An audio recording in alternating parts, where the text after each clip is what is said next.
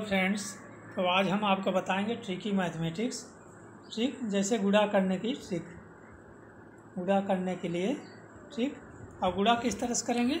जैसे मान लीजिए कि गुड़ा में इस तरह का नंबर हो हमारे पास। लास्ट में नौ नौ जैसे पहला हम लेते हैं ninety nine into seventy five जैसे, ठीक है?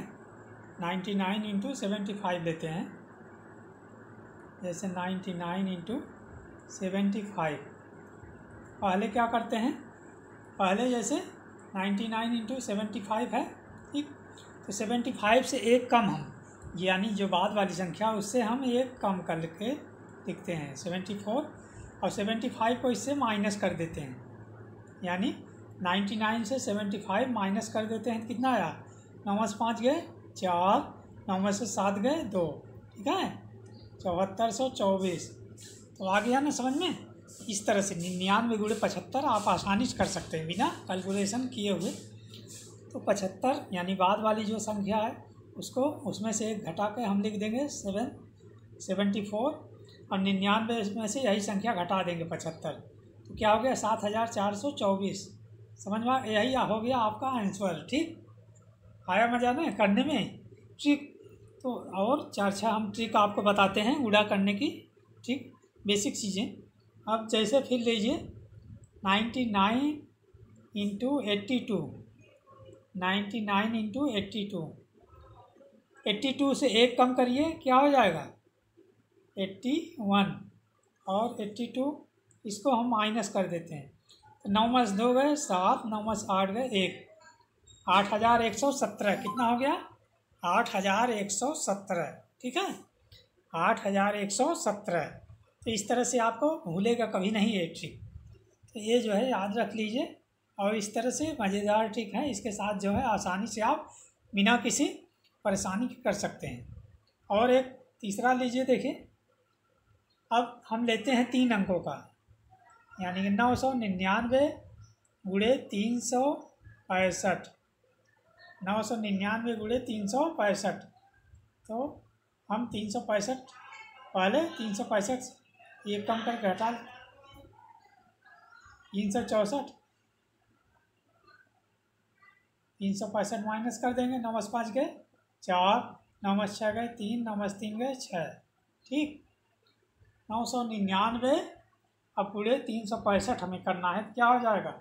नौ सौ निन्यानवे गुड़े तीन सौ पैंसठ। उसके लिए हम क्या करते हैं? तीन सौ पैंसठ यानी बाद वाली संख्या जो है उससे एक कम कर देते हैं। तो तीन सौ चौंसठ आ गया।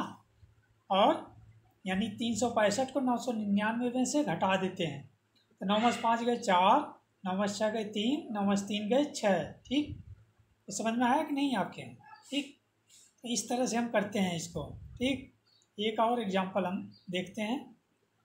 एक और एग्जांपल हम देखते हैं। नौ नौ सौ निन्यानवे गुड़े दो सौ चौंतीस, यानी कि दो सौ चौंतीस अब इसमें हम क्या करेंगे? दो सौ चौंतीस से एक कम। जो नंबर है, क्या हो जाएगा? दो सौ पैंतीस हो गया और दो सौ चौंतीस की इसको घटा कर लिख देते हैं। तो नमस चार गए, पाँच नमस तीन गए, छः नमस दो गए, सात। ठीक? यानी ये हो गया। इकाई ढाई, सैकड़ा हज़ार, दस हज़ार, लाख। दो लाख तैंतीस हज़ार सात सौ पैंसठ। दो लाख तैंतीस हज़ार सात सौ पैंसठ हो गया। ठीक? ये हो गया ठीक। और एक चार अंक हम देखते हैं। नौ हज़ार नौ सौ, नौ हज़ार नौ सौ निन्यानवे गुड़े तीन हज़ार दो सौ पचहत्तर। तो बाद वाली संख्या का पहले, यानी कि कम करके हम लिख लेते हैं। तीन हज़ार दो सौ चौहत्तर और यही संख्या जो है घटा देते हैं। तीन हज़ार दो सौ पचहत्तर। नौ पाँच गए, चार ठीक नौ सात गए, दो, नौ दो गए, सात, नौ तीन गए छः इतना हो गया। इकाई दहाई सैकड़ा हज़ार, दस हज़ार लाख, दस लाख करोड़। तीन करोड़, सत्ताईस लाख, छियालीस हज़ार, सात सौ चौबीस। ठीक? इतना बड़ा बड़ा गुड़ा जो है, आप आसानी से कर सकते हैं और बिना कैलकुलेशन किए हुए। तो ये रही ट्रिक आपकी शानदार। और इसके द्वारा जो है, आप करते रहिए लाइक करिए सब्सक्राइब करिए। Okay thanks for watching